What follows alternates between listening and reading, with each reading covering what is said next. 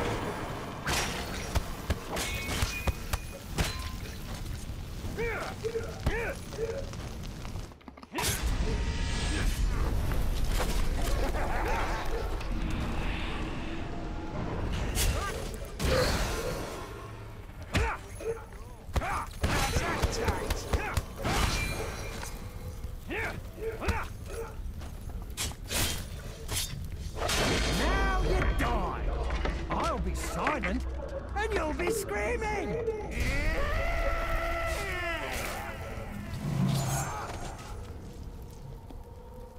Stay close, my sweet. Let me feel your breath on me.